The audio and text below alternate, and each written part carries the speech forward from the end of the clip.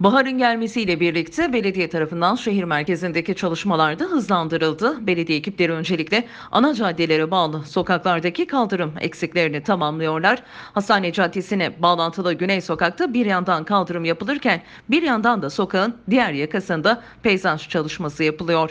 Sokak girişinde bulunan taksi durağının yeri de sokağın tek yönlü trafiğe dönüşmesi nedeniyle değiştirildi.